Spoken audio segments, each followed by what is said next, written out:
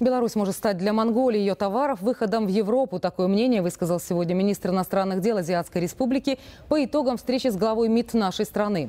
Дамдины Цогдбаатар назвал важными состоявшиеся переговоры с Владимиром Макеем и отметил, что Улан-Батор готов увеличить закупки белорусской сельхозтехники и более активно сотрудничать в ВПК, машиностроении, пищевой промышленности, науке и образовании.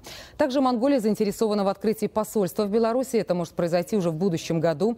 Наша страна, в свою очередь, намерена активизировать поставки белазов и комбайнов в Монголию.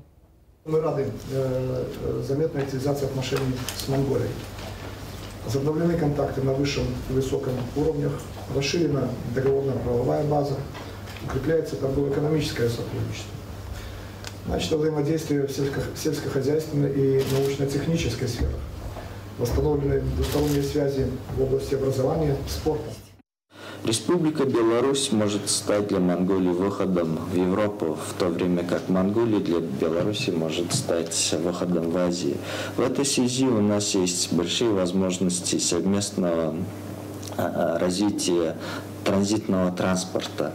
И а, поэтому мы считаем, что наши связи и контакты на всех уровнях имеют очень важное стратегическое значение.